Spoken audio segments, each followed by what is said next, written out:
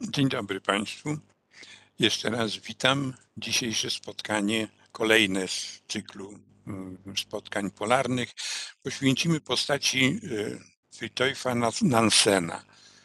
Jest to jedna z najwybitniejszych postaci w świecie badań polarnych, ponieważ nie tylko prowadził w skrajnie trudnych warunkach e, ekspedycje w rejonach polarnych, ale równocześnie prowadził tam e, osobiście naukowe badania i był naukowym pracownikiem Uniwersytetu w Oslo, później profesorem tego uniwersytetu, a po zakończeniu polarnej działalności został bardzo znaczącym działaczem politycznym, w końcu e, komisarzem do spraw uchodźców e, Ligi Narodów i laureatem Nagrody Nobla w tej dziedzinie. No ale tym razem zajmiemy się tylko stroną polarną jego działalności. Zanim powiemy sobie, co działał, co zrobił tutaj Nansen, jaka była sytuacja Y, co do świadomości, jak wyglądała Arktyka w drugiej połowie XIX wieku. No, mamy dwa przykłady jeszcze obowiązujących w tym czasie. Po lewej stronie mapa mm, Mercatora z końca XVI wieku, która nie, nie zaznaczy, na której nie było zaznaczonej y, granicy lotów, jak zresztą i na drugiej, ale było Mercator uważał, że za nią znajdują się, znajduje się kilka wysp otaczających ciepłe morze biegunowe. Być może, że nawet na, na wybrzeżach tego morza żyła jakaś cywilizacja nieznana nam. Tam było i było na środku morza. E, prawa mapa to mapa mm, mm, bardzo znanego, naj, najwybitniejszego kartografa XIX wieku, Augusta Petermana, która wprawdzie już zawiera znacznie więcej szczegółów, jeśli dotyczy kontynentów, natomiast prezentuje podobną ten, e, koncepcję, jeśli chodzi o wnętrze Oceanu Arktycznego. Peterman uważał, że e, jest tam kontynent, mały, ale jest, którego zachodnią część stanowi Grenlandia, a wschodnią ziemia Wrangla. Ziemia Wrangla to był taki skrawek ziemi widoczny nad y, krawędzią pokrywy lodowej, jeżeli się wypływało z cieśniny Beringa na północny zachód. Lody nie pozwalały do tej ziemi dotrzeć dotychczas, w związku z tym nie było wiadomo, jak daleko ona się ciągnie, ale taka mm, koncepcja była. Przy czym Peterman y, nie wypowiadał się na temat tego, czy y, w centralnej części Morza mm, e, mm, Arktycznego jest y, puste miejsce, znaczy jest strefa bez lodu, czy też cały ten obszar jest zamarznięty. Było kilka, szereg drobnych, mniejszych lub większych dowodów na to, że lody w Arktyce wędrują na dużą odległość. Y, na Spitsbergenie znajdowano drewno, które niewątpliwie pochodziło z rzek syberyjskich. Potem czasem na lodzie, na Morzu Barentsa znajdowano elementy wyposażenia wielorybników, który, którzy działali y, na Morzu Czukockim. Sugerowałoby to jednak wędrówkę z tam, y, lodów. Ale nie było to tak jeszcze oczywiste. Natomiast niewątpliwy dowód na istnienie pokrywy lodowej na całej, wędrującej pokrywy lodowej na całym Morzu Arktycznym stworzyła katastrofa e, amerykańskiego statku dążącego do bieguna północnego Janet. Janet wpłynęła na Morze Czukockie, e, udała, próbowała dopłynąć do e, ziemi Wrangla, ale zanim to się stało, wmarzła w lód. Przez długi czas, prawie dwa lata, wędrowała wmarznięta w lód na północny zachód i w końcu niedaleko wysp nowosyberyjskich została przez lód zgnieciona i zatonęła. Ale nie wszystkie jej elementy zatonęły. Część została na powierzchni lodu i po trzech latach te elementy Janet zostały znalezione na południowo-zachodnim wybrzeżu Grenlandii. No to, to był już niewątpliwie dowód, że lód z rejonu Wysp Nowosyberyjskich musiał dopłynąć w sąsiedztwo, w sąsiedztwo południowej części Grenlandii. Czyli, że jest cały czas powłoka lodowa i że ten lód wędruje. Przypuszczalna droga tych szczątków Żanet jest na lewym rysunku, przy czym y, na przykład Nansen przypuszczał, że może trasa tego, tej wędrówki lodów prowadzić przez biegun północny. Stąd jego pomysł y, wykorzystania lodu. Zamiast bronić się, y, walczyć z lodem i próbować płynąć pustymi czy otwartymi mm, obszarami, postanowił wykorzystać lód. W tym celu z Colinem Archerem zaprojektowali statek, mm, nazwany później Fram, który miał to, na to pozwolić. Jego najbardziej charakterystyczną i tą cechą, y, która mu mogła pozwolić na taką działalność, były, był przekrój poprzeczny statku. Widać na dolnym rysunku, że burty statku już wysoko ponad linią wodną zaczynały się pochylać w kierunku kila. Y, jaki był tego sens? No, naciskające na burty pola lodowe powinny się ześlizgiwać po burtach pod statek, a w najlepszym w tym wypadku y, momencie powinny ten statek wypchnąć na powierzchnię. Statek został zaprojektowany, wykonany, y, bardzo dobrze wyposażony. Miał maszynę parową, miał prądnicę napędzaną y, przez wiatrak umieszczony na olinowaniu masztu. Miał możliwość chowania w kadłubie zarówno urządzenia sterowego, jak i śruby, żeby zapobiec ewentualnym uszkodzeniom przed lód. Y, bardzo dobrze mm, zabezpieczony termicznie, także mógł zapewnić doskonałe warunki y, pobytu, długiego pobytu na, y, na lodach arktycznych. Nansen skompletował załogę. Było ich łącznie 13 Y, były dyskusje, czy jest przesądny, czy nie, ale, ale jemu to nie przeszkadzało. I z taką załogą i z zapasami żywności na 5 lat Fram wypłynął w 1893 roku z Bergentu. Scena pożegnania Nansen stoi na szalupie wiszącej, e, wiszącej za burtą Frama. E, Fram był żegnany bardzo hucznie we wszystkich portach norweskich, dopłynął do Wardo i następnie ruszył na wschód przejściem północno-wschodnim, które nie, niedawno, kilkanaście lat wcześniej, po raz pierwszy w całości przepłynął statek Vega y, szwedzkiego y, badacza Nordenschelda. Y, Nansen miał nadzieję, że w ciągu jednego sezonu dopłynie możliwie daleko w kierunku ziemi Wrangla. No ale sytuacja lodowa nie była zbyt dobra. W wielu miejscach, jak widać choćby z tego rysunku, statek grzązd w lodach, y, nie były one na tyle y, mocne, żeby wypchnąć go na powierzchnię, ale skutecznie przeszkadzały płynięciu we właściwym kierunku.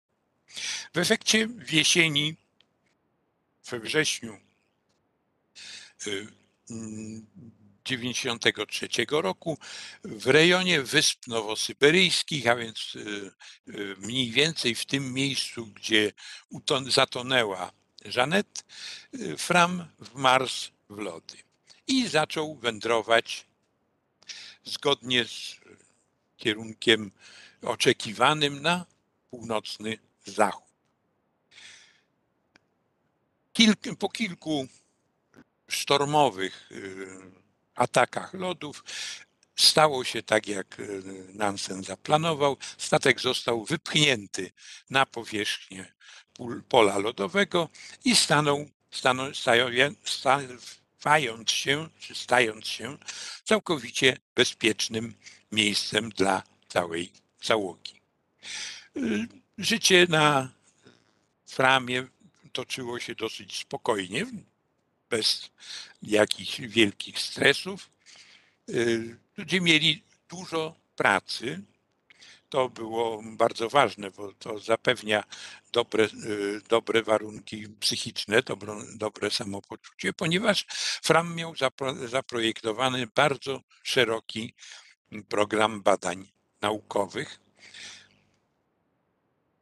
Tutaj y, mamy akurat załogę w przerwie między tymi pracami, ale y, statek zabezpieczony całkowicie nad y, pokładem rozciągnięto dach z tkaniny żaglowej, żeby nie zmuszać się do ciągłego odśnieżania pokładu.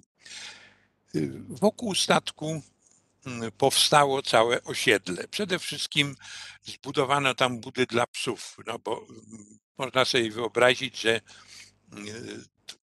stado y, psów, dwudziestu kilku psów żyją, y, głębiących się na nie, pokładzie niewielkiej łódki, łodzi, no, było trochę męczące. Natomiast psy bardzo chętnie mieszkały na lodzie.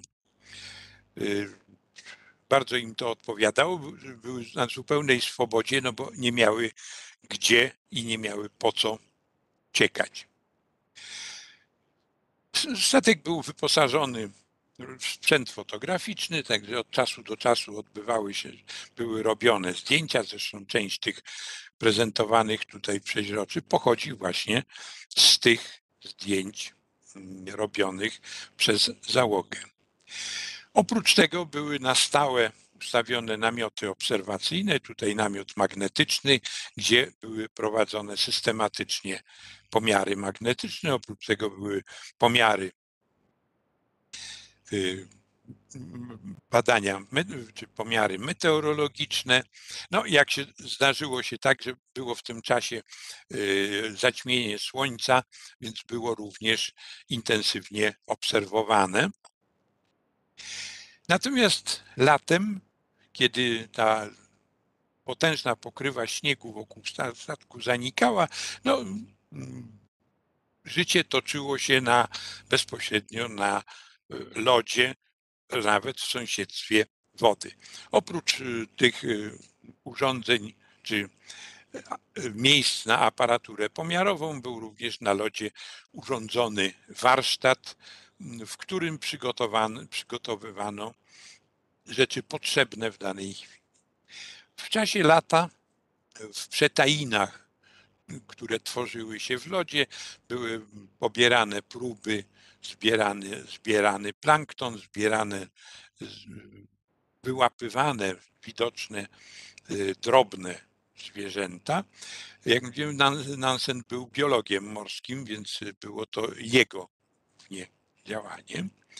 Oprócz tego były prowadzone badania hydrologiczne, więc pomiary głębokości oraz pomiary temperatury wody i pobierane próby wód, wody przy pomocy butli, przy pomocy batometru nazwanego czy nazywanego do dzisiaj butlą Nansena, bo przez Nansena skonstruowanym urządzeniem.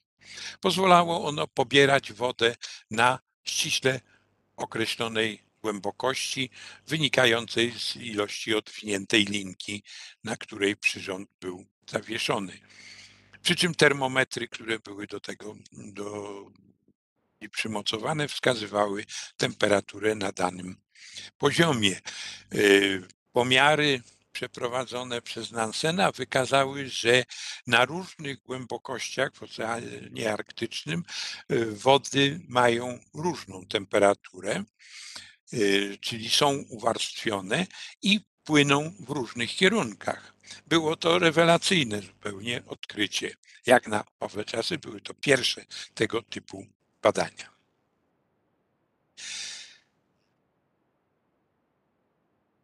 Dryf przebiegał bardzo powoli. W ciągu pierwszej zimy, czyli 93 na 94, przepłynęli zaledwie 120 mil. W ciągu następnego lata zaledwie 70. Także wydawało się, że te pięć lat, na które przeznaczono, przeznaczono y, na wyprawę, to nie jest tak bardzo dużo. W, następnej, w czasie następnej zimy, czyli 95 y, roku, dryf trochę przyspieszył, ale y, wyraźnie wynikało z jego kierunku, że nie będzie, że Fram nie dotrze do bieguna. Wobec tego Nansen postanowił do bieguna dojść piechotą. I w marcu w marcu 95 roku y, na szerokości 84 i z minutami stopnie, stopniu szerokości geograficznej północnej zdecydował się na wyjście na, w, piechotą w kierunku bieguna.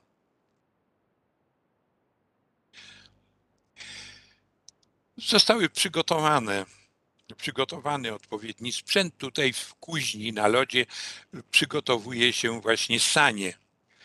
Widać zarys tych sań. Są to tak bardzo charakterystyczne sanie używane we wszystkich podróżach, późniejszych podróżach polarnych, mm, aż do czasu, kiedy wyparły je pulki. Y, do tego czasu były używane właśnie te, tego rodzaju sanie, nazywane saniami nansenowskimi. Charakterystyczną ich cechą było, że nie były łączone na sztywno, tylko cały szkielet y, był łączony przy pomocy wiązań, czyli były elastyczne i w związku z tym na nierównościach lodu mogły się układać. Nansen zdecydował się wyjść y, w marsz do bieguna z, tylko z jednym towarzyszem. Dobrali sanie z zapasem żywności na trzy miesiące i na saniach ciągnęli również e, kajaki typu inuickiego, to znaczy drewniany szkielet obciągnięty skórą. Kajaki miały im pozwolić na pokonywanie ewentualnie napotkanych szerokich, wolnych przestrzeni pomiędzy e, polami lodowymi, ale również miały im zapewnić możliwość dotarcia do archipelagu ziemi Franciszka Józefa bądź do Spitsbergenu, w zależności od tego, y, jak z nią będzie y, przebiegał dryf lodów, ponieważ musieli tam dotrzeć wracając z bieguna. Poszukiwanie frama na y, Morzu Arktycznym, kiedy nie wiadomo było w jakim kierunku i w jakim tempie się porusza, nie miało oczywiście sensu.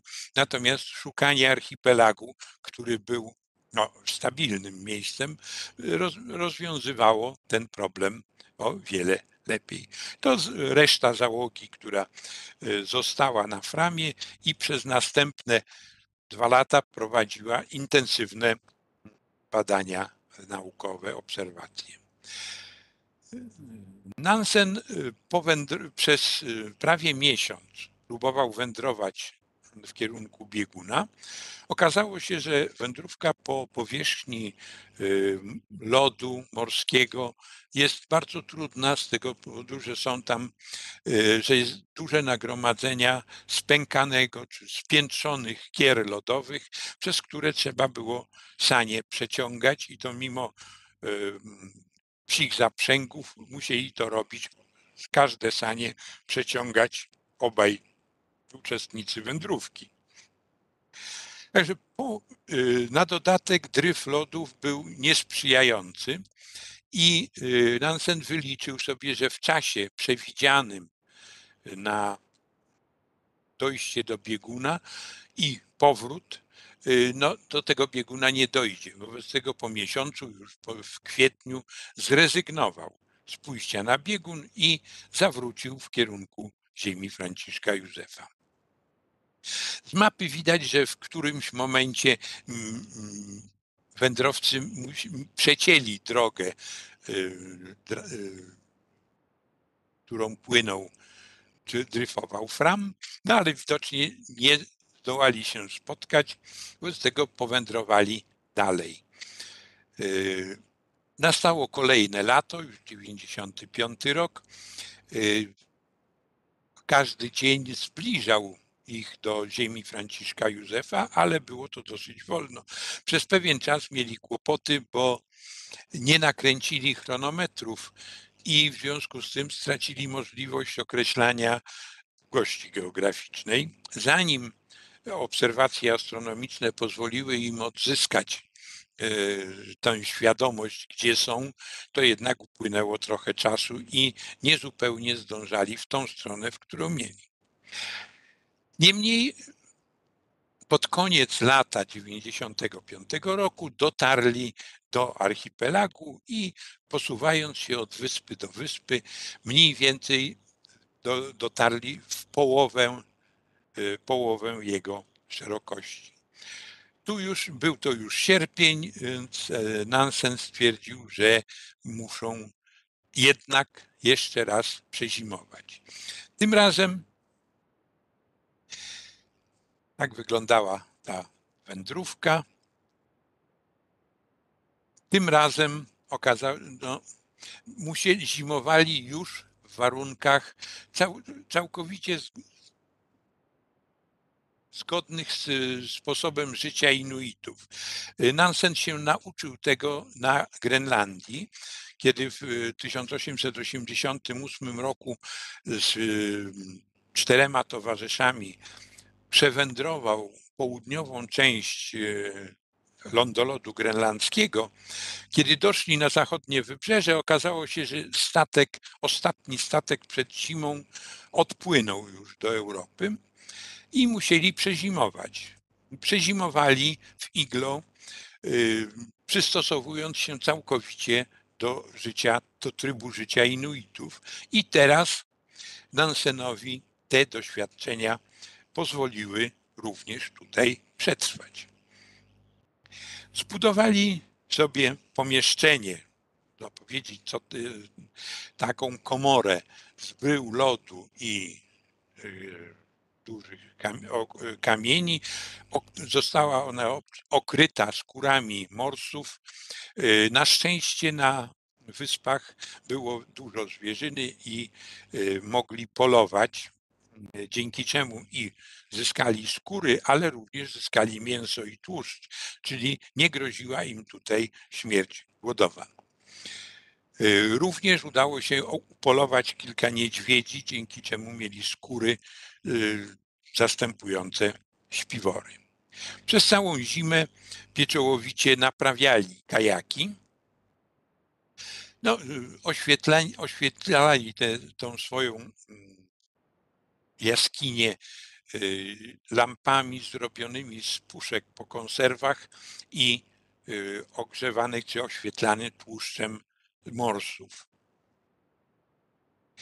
Kiedy nastała kolejna wiosna, ruszyli na, dalej na południe, płynąc, starając się płynąć, bo było to znacznie szybsze i wygodniejsze niż poruszanie się po lądzie przy pomocy sań.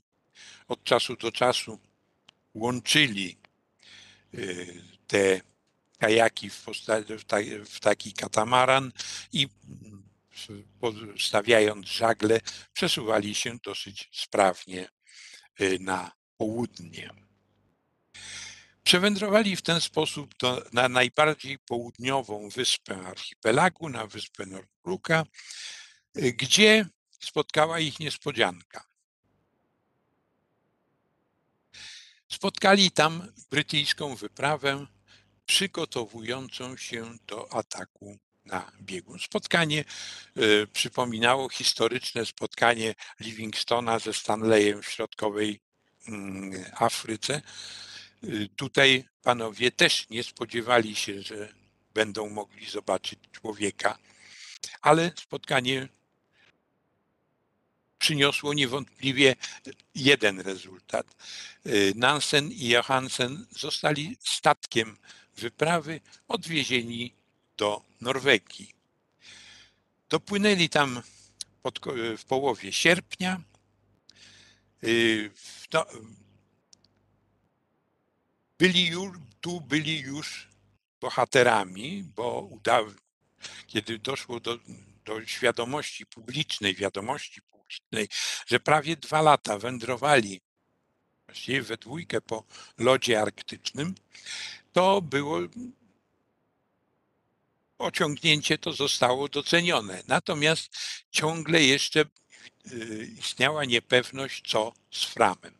Ale mniej więcej po dwóch tygodniach pobytu Nansena i Johansena w Wardu y, przyszedł telegram, że y, Fram uwolnił się w końcu z lodowej kolebki na północ, na północny zachód od Spitsbergenu i płynie do Norwegii.